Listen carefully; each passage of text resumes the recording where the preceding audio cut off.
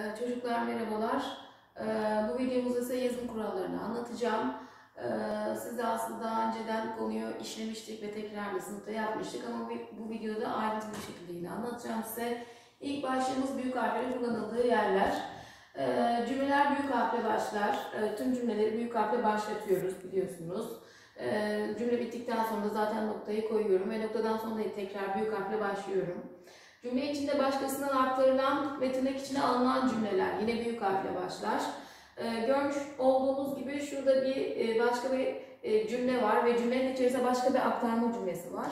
Ee, ve bu aktarma cümlesinde e, tekrar iki noktayı koyduktan sonra aktarma cümleye başlarken büyük harfle başladım. Tırnağı kapatmam gerekiyor. Burada yukarıda kapatmayı unutmuş ama burada görmüş olduğunuz gibi kapattım. Tırnağı kapatırken bu arada cümleyi bitirdim. Ee, cümlenin noktalama işaretine ise koydum ve tırnağı kapattım. Dedi demiş diyebilirim. Ee, yine iki noktadan sonra gelen cümleler büyük harfle başlar ama her zaman mı? Değil. Noktalama kurallarında da e, tekrar değineceğiz buna. İki noktadan sonra açıklama cümlesi varsa yani cümle niteliğinde bir açıklama varsa o zaman büyük harfle başlar. Ama iki noktadan sonra örnek gibi bir şeyler alacaksa o zaman büyük harfle başlamaz. Yine bu açıklama cümlesine bir örnek. Size tavsiyem şu demiş, açıklama yapacak, her zaman düzenli çalışın demiş ve büyük harfle başlamış. Dizeler genellikle büyük harfle başlar. Ee, çok e, hani bizim şu anda gördüğümüz Cumhuriyet dönemi e, ne dair şiirlerin bir kısmında büyük harfle başlamayan serbest sezen şairler olabiliyor. O istisnai bir durum. Ama normal bize verilen örnekler de öyle olacaktır zaten. Ee, büyük harfle başlaması gereken dizeler vardır. Ee, eğer bu noktalama işaretinde de söyleyeceğim ama yeri gelmişken tekrar bir hatırlatmak istedim. Dizeler alt alta değil, yan yana giderse de e, araya eğik çizgi koymamız gerekir. E, tüm özel adlar, tüm özel isimler büyük harfle başlar. E, tabii ki bunların en başında kişi isimleri ve soy isimleri var. E, şöyle örneklere bakalım. Ömer Seyfettin, Nazım Hikmet demiş. Bizim de kendi isimlerimiz, soy isimlerimiz büyük harfle başlar. Takma isimler e, yine büyük harfle başlar. E, takma isimlerle birlikte kullandığımız mahlaslar vardır. E, ve bu kişi adlarından önce ve sonra gelen aslında saygı sözleri, ünvanlar, lakaplar, meslek ve rütbe isimleri ki biz bunu ünvan olarak gördük sizinle. E, ünvanlar da özel isimle kullanıldıkları zaman büyük harfle başlarlar. Çekim ekleri kesme işaretiyle ayrılır. Ee, şöyle örneklere bakalım. Kadı Mehmet Efendi, Kadı'yı büyük harfle yazdık, Efendi'yi büyük harfle yazdık. Ee, çocuklar özel isimden önce de sonra da gelebilir lakaplar yani ünvanlar. Ee, sadece sonra ya da sadece önce de kullanılabilir. Tek başına Avukat Mustafa ya da Zeynep Hanım gibi. Ama hem başına hem sonuna da gelebilir. Ee, Yüzbaşı Hakan gibi. Ee, ünvanların büyük harfle yazıldığını biliyoruz. Ünvanlara gelen çekim ekleri kesme işaretini mutlaka ayırıyoruz. Hayvanlara verdiğimiz isimler yine büyük harfle başlarlar. Gofret demiş, çomar demiş, zeytin, karabaş, sarı kız gibi. Ee, yine onlar da özel isimdir. Çünkü e, akrabalık bildiren sözcükler büyük harfle başlamaz. Bunu mutlaka unutmamak, e, unutmamamız gerektiğini size söylemiştim. Derste tekrar, tekrar şimdi hatırlatıyorum.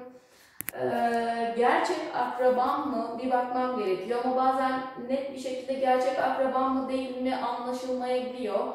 Ee, ben size her zaman şöyle dedim. Yazım kurallarında akrabalık belirten bir ünvanla karşılaştığınız zaman diğer şıklardan mutlaka emin olunuz. Ondan sonra onu işaretleyiniz. Çünkü hala e, bazı kaynaklar net bir bununla alakalı tavır gösteremediler.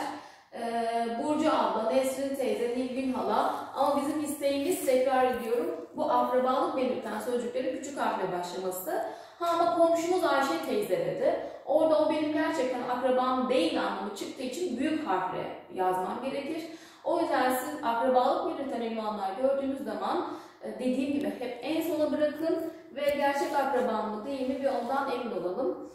Ee, yine e, burada ama işte gerçek akrabam değilse, lakap gibi kullanılıyorsa o zaman büyük harfle başlar. Nene Hatun gibi, tarihi bir e, karakter, Müslüm Baba, Susuz Dede gibi. E, burada akrabalık belirtmediği için zaten büyük harfle başlıyor. Akrabalık belirttiği zaman başlamıyor. Hitap belirten kelimeler için konuşalım. Hitap belirten kelimelerin her harfi büyük harfle başlar. Sevgili öğrenciler, değerli kardeşlerim gibi. Ee, ve hitap e, sözcüğü bittikten sonra virgül kullanırız ve konuşmaya devam ederiz ama büyük harfle başlar. Yine aynı şekilde e, saygı bildiren sözlerden sonra gelen makam mevkiler, sayın bakan, değerli öğretmenin gibi makam belirtiyorsa da yine büyük harfle başlayacak. E, bu önemli şu madde.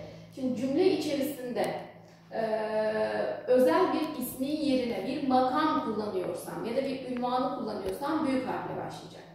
Dedi ki bize işte bayram sabahı vali halkı selamladı. Vali burada tek bir kişiyi kastettiği için yine büyük harfle başlayacak. Burada da yine buna benzer bir örnek vermiş. Uzak doğudan gelen heyeti vali makamında kabul etti demiş. O zaman büyük harfle başlayacak.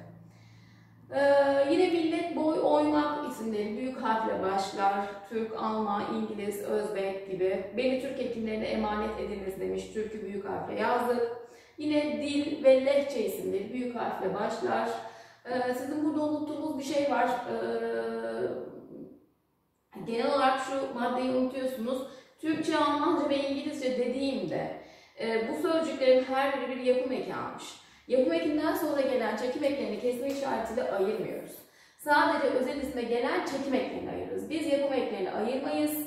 E, yapım ekinden sonra gelen çekim eklerini de ayırmayız. Bu sebeple Türkçe'ye, Almanca'ya, İngilizce'ye dediğimde yapım ekinden sonra gelen çekim eklerini kesme işaretiyle ayırmıyoruz. Aman buna dikkat edin lütfen. E, bunların kısaltmasında da mesela biraz sonra tekrar göreceksiniz. Diyelim Almancayı kısalttı, ALM nokta yazdı. E, buna getirdiğim eki kesmeyle değil noktadan sonra eki getiriyorum. Yer, millet ve kişi adlarıyla kurulan bileşik kelimelerde sadece özel adlar büyük harfle başlar. E, biz bunu sizinle bu madde ve bu maddenin eşliğinde gelen özel isimlere bağlı tür ismi olarak öğrendik. Evet özel isimlere bağlı tür isimleri de küçük harfle yani özel ismin kendisi büyük ama yanındaki tür isimleri küçük harfle yazılacak. Antep fıstığı, Brüksel lahanası, Hindistan cevizi, Van kedisi, İngiliz anahtarı, Maraş dondurması gibi ilk harfler büyük yazılıyor. İkinci tür isimleri küçük harfle yazılıyor. Bunu unutmayın. Yine devlet isimlerinin tamamı büyük harfle yazılır. Türkiye Cumhuriyeti, Azerbaycan, Amerika Birleşik Devletleri gibi devlet isimlerini büyük harfle yazıyoruz. Bizim Türkiye Cumhuriyeti'nin kısaltmasının arasında da nokta olduğunu unutmuyorsunuz. Din ve meslek isimleri ee, ve bunlara bağlı başka yine sözcükler varsa büyük harfle yazılır. Müslümanlık, Müslüman, İslamiyet, Hristiyan, Musevilik gibi ve bunlara bağlı yine e, ayrılan kolları varsa mezhep olarak onlar da yine e, büyük harfle e, başlayacak. Din ve mitoloji kavramları ki bunun içerisinde biz e, Tanrı ve Allah sözcüklerini de yine bu grupta olduğunu hatırlayın. E, gerçek anlamlarıyla kullanıldıkları zaman bunlar büyük harfle yazılır. E, ama diğer mecaz bir anlamda kullanılacaksa küçük anlamda yazılması lazım. Tanrı, Allah, İlah, Cebrail, Zeus, Kibele gibi gerçek anlamlarıyla kullanıldıkları zaman tekrar söylüyorum e, Tanrı ve Allah ismi büyük harfle yazılacak. E, diğer mitolojik isimler de yine aynı şekilde. E, yine mesela demiş ki bize Tanrı, Tanrı ve Allah, ilah sözleri özel olarak kullanmadıkları küçük harfle yazılıyor. Evet, eski Yunan tanrıları müzik dünyasının ilahı. Gördüğünüz gibi burada gerçek anlamıyla kullanılmadı. Gezegen ve yıldız anlamlarında da aynı şeyi yapıyoruz. Gezegen ve yıldız e, isimlerinde güneş ve ay sözcüklerine ve dünya sözcüklerine lütfen dikkat edelim. Onlarda da aynı şey geçerli. Yani terim anlamlarıyla, gerçek anlamlarıyla kullanıldıkları zaman büyük, e, diğer türlü küçük harfle yazılacak. Şöyle bakalım bir. Mars, Dünya, Güneş. Burada büyük harfle e, yazmış olduk biz çünkü gerçek anlamlarıyla kullandık. Güneşin dünyaya uzaklığı e, 152 milyon kilometre dediğimde büyük harfle yazdım çünkü gerçek anlamıyla kullandım. Yine e, aynı şeyi madde olarak görüyoruz. Dünya, Güneş, Ay sözcükleri gezegen anlamı dışında kullanıldıklarında küçük harfle başlayacaklar. Güneş doğmaz oldu dünyama gibi. Burada tekrar hatırlatmak istediğim bir şey var. Sınıfta da üstüne basa basa ile söylemiştik. E, güneş ışığı, ay ışığı anlamında kullanılıyorsa yine onlar küçük harfle yazılıyorlar. Yani pencereyi kapat, içeriye güneş giriyor dediğinde ışığını kastettiği için küçük küçük yazacak. Lütfen ona dikkat edin e, cümledeki anlamından. Yer isimleri. Kıta, bölge, e, il, ilçe, köy, semt büyük harfle başlar. Ama e, biraz sonra da madde olarak karşımıza çıkacak. İl, ilçe, köy ve bucak sözcüklerinin kendisi küçük harfle yazılır. Yani mesela İstanbul ili dedi. İstanbul'da evet büyük yazıyorum ama ilin iyisini küçük yazacağım gibi. Ee, burada gördüğünüz gibi Asya, İç Anadolu, Konya, Bahçeli Evler gibi yer isimlerine de örnek vermiş. Avrupa kıtası demiş. Bu arada tekrar ediyorum il, ilçe, köy, bucak isimleri ve kıta sözcüğünün kendisi de küçük harfle yazılır her zaman. Şimdi yön bildiren sözcüklerdeyiz. Bir hatırlayalım yön bildiren sözcükleri. Biz sınıfta şöyle işledik. Özel isimden önce geliyorsa yön sözcüğü özel isimden sonra geliyorsa küçük yazılır. Ara yönler her zaman birleşik yazılır. Ara yönler için de geçerli. Özel isimden önce geliyorsa büyük, özel isimden sonra geliyorsa küçük diye hatırlayacaksınız. Medeniyet için kullanıyorsa o zaman da yine büyük harfle yazacağım. Diyor ki bize yer, yer yön bildiren sözcükler doğu, batı, güney, kuzey vermiş. E, tek başına ya da özel isimden sonra kullanıldıkları küçük, özel isimden önce kullanıldıkları büyük. Doğu Anadolu'yu gördünüz mü? Anadolu'nun doğusu demiş. Doğu Anadolu bir zaten bölge belirtiyor. Gelen çekim ekinde kesme işaretiyle ayırdım. Anadolu'nun doğusu dediği zaman da e, yön belirttiği için küçük harfle yazdım. Yine e, mahalle meydanlığı var, cadde, sokak, tüm adres bilgilerimizi biz büyük harfle yazarız. Öyle aklınızda tutun isterseniz. E, apartmanı varına kadar e, mutlaka büyük harfle yazarım. Atatürk Bulvarı, Cumhuriyet Mahallesi, Kazım Karabekir Caddesi gibi. Ee, burada biraz önce size söylemiş olduğum maddeyi size tekrar gösterdim. Özel ada dahil olmayıp tamlama kuran şehir, ilçe, belde, köy gibi sözcükler. İl, ilçe, köy, bucak olarak ben size e, ezberlemenize çalışmıştım. Kıta içinde yine bu grupta alabiliriz. Konya ili, Etimesgut ilçesi, Uzungöl beldesi, Darıca köyü gibi lütfen unutmayın e, bunlar küçük harfle yazılır. Ee, yine yer isimlerinden sonra gelen e, deniz, nehir, göl, dağ, boğaz sözcükleri mutlaka büyük harfle yazılır. Özellikle İstanbul Boğazı'nı bazen sadece boğaz olarak veriyor. Hatta çıktı soruda vardı.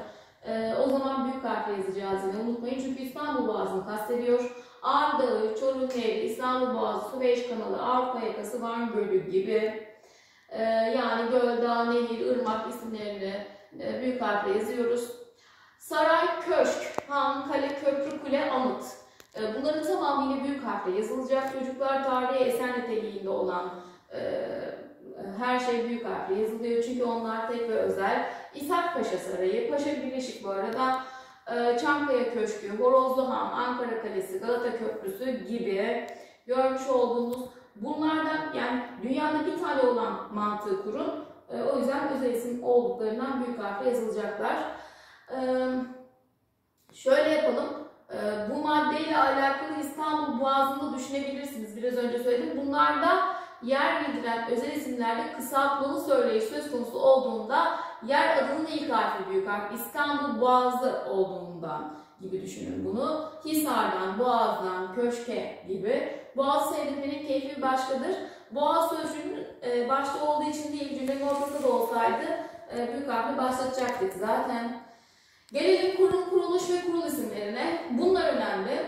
E, kurum, kuruluş ve kurul isimlerinin her harfi büyük yazılır. Ve kurum kuruluşa gelen çekim ekleri ayrılmaz. Biz yapım eklerini zaten ayırmıyoruz. Yapım, ekin, e, yapım ekinden sonra gelen çekim ekini de zaten ayırmıyoruz. Ama kurum kuruluşta özel istisnai durum söz konusu kurum kuruluş ve kurul adları açık bir şekilde yazdığında gelen hiçbir ek, çekim eki de haliyle ayrılmayacak. Türkiye Büyük Millet Meclisi, Talim Terbiye Kurulu Başkanlığı gibi Türkiye Büyük Millet Meclisi'nde deseydim yine ayırmayacaktım eki ama kısaltmalı yazılışı tabii ki farklı. Onu biraz sonra tekrar söyleyeceğiz size kısaltmalı yazılışlarda.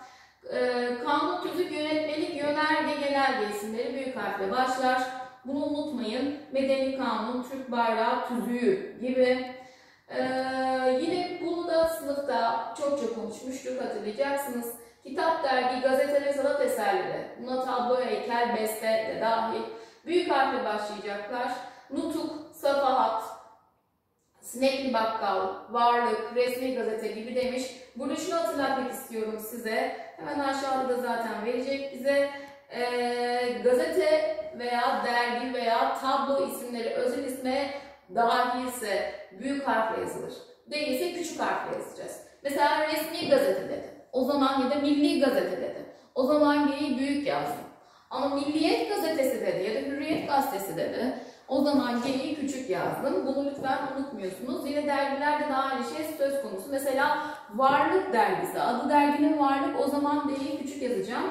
Sadece özel büyük yazacağım. Şurada hemen tekrar bize aynı maddeyi uyarıyla vermiş.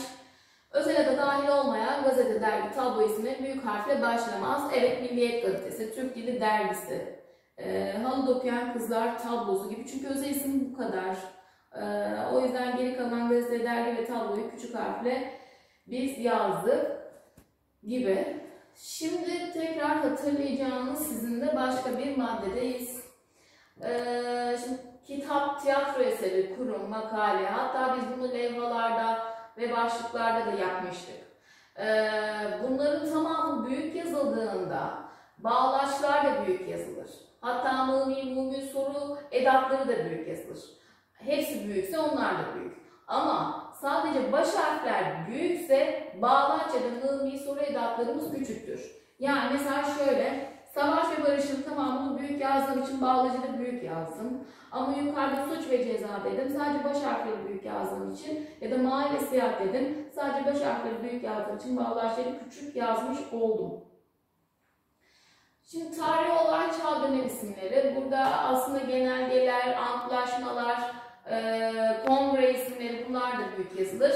E, tam tamam büyük harfle başlayacak ilk çağ, yükselme devri, milli edebiyat dönemi gibi ee, siz de görüyorsunuz bunları örneklerde. Ulusal resmi dini bayramlar, özel günler, anma günleri bunların hepsi çocuklar büyük harfle yazılır. Ee, ne bayramı olduğu önemli değil. Ne günü olduğu bizim için hani aa kutlamasak da hayır ona bakmıyoruz her zaman için. Mutlaka e, tüm e, milli ve dini bayramlar, özel günler, kutlama günleri büyük harfle yazılır. E, mesela ne dedik? Uzay Egemenlik ve Çocuk Bayramı. Tamam büyük yazsaydım bu arada büyük yazacaktım. Burada küçük. Baş harfler çünkü büyük. İşte Nevruz Bayramı, Miraç Kandili, Anneler Günü gibi, Ramazan Bayramı gibi bütün e, bayramlar, özel günler büyük harfle yazılır. Kurultay, şölen ve çalıştay, açık oturumlar. Bunlar da özeldir. Özel isimleri vardır bunların çünkü. Yine işte Uluslararası Türk Dil Kurultayı gibi. Yine bunlar da büyük harfle yazılırlar. Ee, özel isimden gelen bütün kelimeler türetilen kelimeler büyük harfle başlar. Türklük, Türkçe, İstanbul'u türetilen dediğine göre türemiş bu sözcükler yapım ekleri var. Yani yapım eklerini ayırmıyorum. Yapım ekinden sonra gelen çekim ekini de ayırmıyorum. Tekrar sürekli söylüyorum size bunu unutmamanız için. Ee, özel isimler kendi anlamı dışında başka bir anlam kazanmışlarsa burada Hicaz dediği bir diğer isimden çıkmış. Türk müziğinde bir makam aslında e, olmuş. Don Quixote'luk aslında burada özel isim olarak ya da kitap ismi olarak kullanmamış. E, gereği yokken gösterilen bir kahramanlık anlamında kullanılmış. Bu durumlarda küçük harfle tabii ki yazıyoruz. Para birimleri büyük harfle başlamıyor. Bakınız lira, dolar, kuruş gibi. Ee, yine özel isimler e, yerine kullandığımız o zamiri genellikle e, bunu bazen Allah için de e, kullanırız.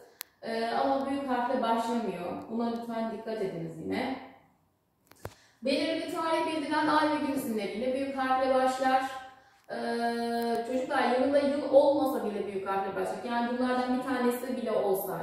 İşte 29 Mayıs 1453 Salı gününde de 1453'ü diyelim vermedi. Sadece 29 Mayıs Salı dedi. Yine büyük harfle başlayacak.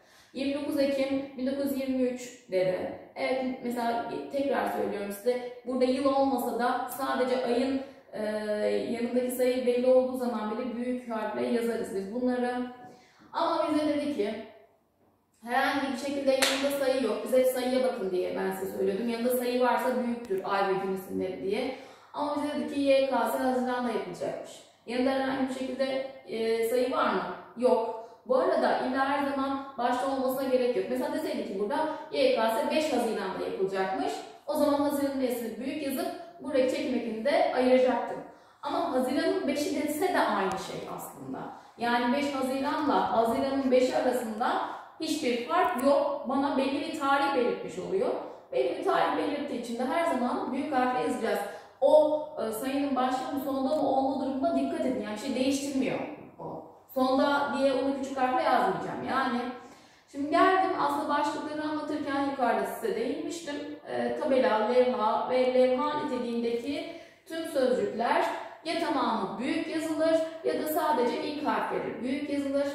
Ee, tamamı büyük de yazılabilir bu arada. Giriş, çıkış, müdür demiş, dördüncü kat demiş, işte üçüncü sınıf demiş, birinci blok demiş, fark etmez. Ee, şöyle şimdi kitap bildir makale gibi ana başlıktaki kelimelerin tamamı, alt başlıktaki kelimeler ise yalnızca ilk harfleri büyük olarak yazılır. Ee, bu aslında bizim için bir hani uyarı gibi olmuş. Ee, bunu zaten aslında biz de biliyorduk. Şimdi sayıların yazımındayız. Ee, sayılar metin içerisinde e, yazıyla yazıldıklarında e, herhangi bize bir çek ya da senet gibi bir şey özel bir durum belirtilmedikçe ayrı yazılır. 3 ay sonra izleyebileceğim demiş. İşte bu gelenek 1000 yıldır sürüyor demiş. 1500 yıldır sürüyor deseydi de 1500 deyip tek tek ayrı ayrı yazacaktım. Herhangi bize bir durum olmadıkça ayrı yazıyoruz. Çek, senet falan demedikçe yani. Saat, para tutarı, ölçü, istatistik verilerde rakam da kullanılır. Ama her zaman rakamla yazacağız. Bu bir kuraldır diye bir şey yok. Sayıyla da rakam şey e, yazıyla da olabilir. Bugün okula saat 11'de gideceğiz. E, saatin yazımıyla alakalı bir şey değinmek istiyorum. 11.00 diye yazdığı zaman sondaki 00'ları okumuyorum tabii ki. 11'de bitti. 11.45 deseydi sertleşmeyi yapacaktım. 11.45T diye yazacaktım. Saat ve e, tarihlere getirilen eklerde sertleşme varsa yapmak zorundayız. Yapmazsak yazım yanlışı yapmış oluruz. Ama 11.00'ı tekrar değinmek istedim. Bunu normal 11.00 değil 11'de diye okuyorum. Sondaki 00'ları okumuyorum yani. E, manavdan 5 kilo soğan aldık dedi. Gördüğünüz gibi. Bunları çocuklar sayıyla da yazabildik ama yazıyla da isteseydik yazardık. Böyle bir e, illa sayı diye bir kural yok. E, burada da söylemiş saat dakikalar metin içerisinde yazıyla da yazılabilir. Saat 9-5 geçe gibi söylemiş. Şimdi birden fazla sözcük oluşan sayılar ayrı yazılır. 100, 365, 1250 gibi e, her basamağı tek tek ve ayrı yazılacak. Ee, çek ve senet de e, bitişik yazılması gerekiyor. Bunu ama bize mutlaka söylemesi lazım. Belirtmesi lazım. Ya bir görselle belirtecek ya da böyle bir madde verecek çek ve senet olduğuna dair. Hatta biz sadece bu şekilde değil başta ve sonunda eşekleyebiliriz de yine aynı şekilde. E, 4 daha fazla basamaklı sayılarda 3 ayrı gruplar halinde e, yazabiliyoruz. Biliyorsunuz bunu bu noktanın da yönümü aynı zamanda. Sondan başa doğru 3 ayrı olarak grupladım bol e, sayılı, bol sıfırlı sayılarda yapıyoruz bunu. E, bu arada e, gerçekten yine 4 ve 4'ten fazla basamaklı sayılarda rahat söylenmesi, rahat okunması ve rahat yazılması için sayının bir kısmını yazıyla, bir kısmını sayı ve yazı karışımı yaparak 1 milyar 500 milyon kişi. Milyonu bu şekilde yazabilirim, biri bu şekilde yazabilirim. Bu yanlış demek değildir. Yani mesela 75 milyon 200 627.384 kişi demiş. Milyonu bu şekilde yazıp tekrar sayıları bu şekilde yazabilirim. Yanlış değildir bunlar. Ama dediğim gibi biz bunu bol sıfırlı büyük sayılar için kullanıyoruz. Ee, sıra sayıları. Evet sıra sayıları bizim için e, soru gelme ihtimaliyle olabilen bir yer. Biz sıra sayıları nasıl yazıyoruz? Bir hatırlayalım. Ee, sadece not kullanabilirim inci inci anlamı katmak için. Ee, 15. demiş oldum. 56. demiş oldum. Ama rakamı da sayı belirtiyor biliyorsunuz ki sıralama belirtiyor. İşte 20. dedim. Ama ben sadece sıra sayısını nokta kullanmaksızın ve başına, başındaki ünlüyü doğru getirmem kaidesiyle, şartıyla e, bu şekilde de yazabilirim. Yani 15 dedim. Sonra e, kesme işaretini koyup inci ince ekini getirebilirim. Burada inci dedim. Burada incı yani daha doğrusu neyle başlattım? İncı yaptım. Çünkü niye? 56 ünlüyle bitti. Dediğim gibi biz bunu bu şekilde kullanırken e, ünlülü mü ünsüz mü başlayacak bu ek bunu mutlaka bakmalıyız. E, buna dikkat edelim. E, tekrar söylüyorum ikisini birlikte kullanmıyoruz. 8. inci değil. Ee, sekizinci, evet bu doğru. İkinci, ya, bu yanlış. Niye? Çünkü hem nokta koymuş hem tekrar soru yazmış. Bu doğru yeşile gösterdiğimiz yer. Neden? Çünkü zaten ekin kendisinde de iyi olduğu için inci dedim ve noktasız. Yani her ikisini birlikte zaten kullanmıyorum. Sadece bir tanesini kullanıyorum. Sıra sayılarda e, bu durumda var, bu durumda var, noktalısı da var. Ama birleştirme sayısı dediğim ar er şarşar eklerinde hiçbir zaman e, onları kesme işaretiyle ayırıp e, yazıyla yazmıyorum. E, sayı, yani bir kısmını sayı, bir kısmını yazı yapmıyorum. Yani sayıyla gösterip yukarıdan işte kesmeyle ayırma böyle bir şey yok. Birleştirme sayıları her zaman için yazıyla, sekizler, ikişer. Nerede kullanıldığı önemli değil. Matematikte de kullanılabilir, çok önemli. Televizyon programlarında da olabilir. Yanlış yazıyorlar onlar. Doğru değil. Birleştirme sayıları her zaman için yazıyla yazılır. Bunu unutmayın. Bana bu e, madde olarak da sorabilir. Yani biz sıra sayı eki nedir? İnci inci, birleştirme eki nedir? Ar er şar şer. Bunların hangi ekler olduğunu bilmek zorundayız. Şimdi bu arada e, Roma rakamlarıyla alakalı bize bir e, şey verdi. Roma rakamları için çocuklar e, kullanıldıkları yer önemli. Roma rakamlarında sadece ay isimlerine, ay isminin olduğu yer, yerde Roma rakamını kullanabilirim. Bu arada gün, ay ve yıl isimlerini eğer ay ismi sayıyla ise nokta veya ek çizgiyle ayırırım. Ay ismi yazıyla ise araya herhangi bir noktalama işareti gelmez. Noktalama işaretlerinde tekrar edeceğim ama yazım kurallarında size tekrar söylemek istedim. Şimdi bileşik yazılan sözcüklerdeyiz. Bir sözcükleri 3 kural varsa bileşik yazarız demiştik. Onlardan bir tanesi herhangi bir ses olayı. Ünlü düşmesi, ünsüz düşmesi ya da türemeler. Bunlar varsa bir sözcükleri birleşik yazarız. Cuma ertesi ünlü düşmesi oldu. Bileşik yazdım. Ne asıl, nasıl oldu? Yine ekmek olmak, kılmak gibi yardımcı eylemlerde de çok sıklıkla karşımıza bunlar çıkar bizim.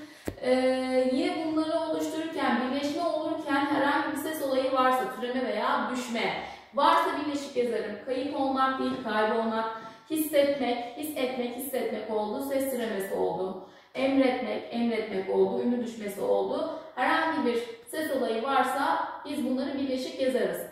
Ve geldim önemli diğer maddeme sözcüklerin bize TDK'da, pardon TDK'de e, şöyle diyor. Sözcüklerden her ikisi ya da ikincisi birleşme sırasında e, eğer bir anlam değişikliğine uğrarsa bileşik yazarız diyor. Evet tabii ki doğru ama ben size kolay bir yolunu öğretmiştim. Dedim ki hiç ilkiyle uğraşmayın. Her zaman ikinci sözcüğe bakın. İkinci sözcükte anlam değişimi varsa biz birleşik yazarız dedim. Ee, ikisine de yani bakabilirsiniz ama bizim için önemli olan ikincisidir. Neden? Ee, ilk sözcük sadece anlamını yitirdiği zaman ayrı yazacağım ben onları. İkinci sözcük anlam yitirdiği zaman bileşik yazıyorum. Bakalım şimdi mesela karga burnu demiş. Burun anlamını yitirmiş. Tavuk göğsü. Evet göğüs anlamını yitirmiş. Şimdi diyeceksiniz ki tavuk da yitirmiş. Aa evet. Bakalım ikisi de yitirmiş ama biz genellikle ikincisine bakalım. Neden? Ola ki mesela bana deve kuşu ya da köpek balığını verdi. Onları ayrı yazacağım. Deve anlamını yitirmiş, köpek anlamını yitirmiş olabilir ama ikinci sözcükler anlamını korudukları için gibi. Ee, gelelim başka bir maddemize. Burada yine zarf fiil ekleriyle e, yazılanları yukarıda söylemiş. İşte ivermek. Onlar genellikle yine e, birleşik yazılıyorlar. Siz de biliyorsunuz. Geldim ikinci sözcüğün e, yine ar, er, ı, ir gibi sıfat fiil eklerini almasına onlar da aldıkları zaman sözcükler yine birleşik yazılırlar. E, çocuklar son maddedeyiz. Son maddemiz bizim neydi? Son maddemiz şöyleydi. E, herhangi bir şekilde sözcüğü oluşturan sözcüklerde tür değişimi varsa, bu tür değişimleri varsa biz sözcükleri birleşik yazarız. Ee, mesela çek yap gibi, mesela yap boz gibi. Ee, çekmek ve yapmak aslında bir fiilken bir isim oluşturmuş. Yine yap boz mesela, yine aslında ikisi fiilken bir isim oluşturmuş. Kapkaç yine aynı şekilde. Ee, kapmak ve kaçmak bir fiilken bir isim oluşturmuş gibi. Ee, yazım kurallarında bunların haricinde kalan e, sizin de madde madde bilmeniz gereken bazı durumlar var. Mesela alt, üst, üzeri sözcükleri. Somut anlam belirtiyorsa, birleşik soyut anlam belirtiyorsa, e, somut anlam belirtiyorsa pardon, e, birleşik Değilse ayrı yazılır. Hane sözcükleri birleşik yazılır. Ev sözcükleri birleşik yazılır. Başla başlayan her şey birleşik yazılır. Şey e, ile olan şeyler işte her şey gibi, herhangi bir şey gibi, şeyler her zaman ayrı yazılır gibi. Ee, lütfen bunlara dikkat edin. Yine sayıların yazımında oyun isimli eğer sayılar bir oyun adıysa yine birleşik yazılır. Ama makam ya da müzikle alakalı kullanılmışlarsa e, yine onlar o zaman e, ayrı yazılırlar gibi alt üst üzeri sözcüğünü tekrar söylemek istedim. E, o arada bir başka bir şeyler daha düşünüyordum. Alt üst üzeri sözcükleri somut bir anlam belirtiyorsa eğer çocuklar o zaman ayrı değilse birleşik yazılır. Bir tekrar edeyim istedim emin olamadım dediğimden o sırada. Görüşmek üzere. Mutlu günleriniz olsun.